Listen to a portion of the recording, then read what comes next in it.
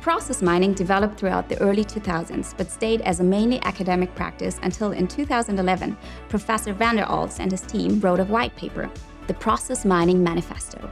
This started a movement which brought process mining out of the classroom and into the boardroom. The first commercial process mining vendors emerged and businesses started to really take advantage of it. Using it to model, analyze, and optimize common business processes like purchase to pay, order to cash, and customer service. Fast forward another decade to the early 2020s, and businesses have used process mining to save billions of dollars, hundreds of thousands of hours, and reduce their emissions by millions of tons. And in terms of the technology, we're at the stage where businesses use process mining to see not just individual processes, but how all their end to end processes connect and interact with each other.